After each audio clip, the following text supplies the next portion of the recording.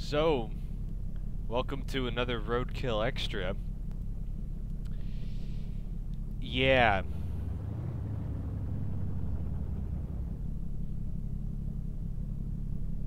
if anybody does not know, that is the Rotsun currently. and it is completely on fire.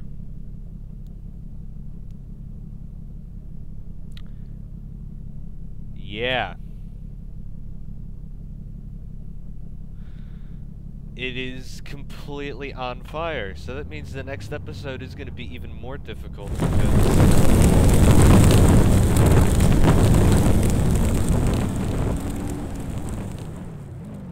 Let me, let me go over here and leave that in the distance, because this is going to be loud.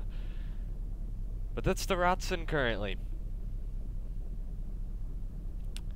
Yeah. So pretty much what happened is, uh...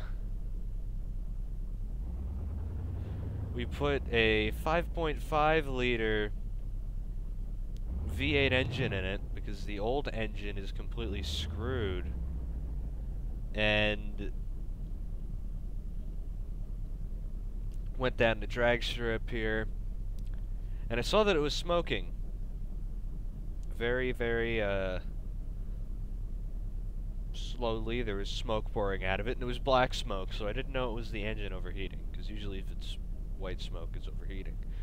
I stopped the car, and then all of a sudden, a bunch of fire starts come out of the engine bay. I pull the car over. I get Harry. The trailer is stuck all the way back there.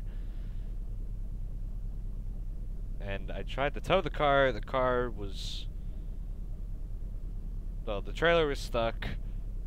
So I decided to start pushing the car, and then once the car was completely engulfed in fire, I gunned it with this truck and then let the car roll forward before the fuel tank and the rear tires blew up.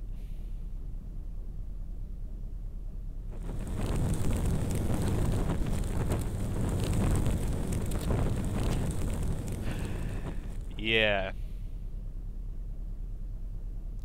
So the whole car is going to need to be redone now.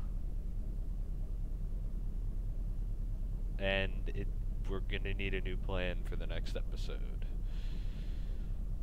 Yeah. Well, there you go. There's the Rotsun on fire. and it'll be back in the next episode, not on fire, and it will be successful against 200 knights. Hopefully you enjoyed, and I'll see you next time.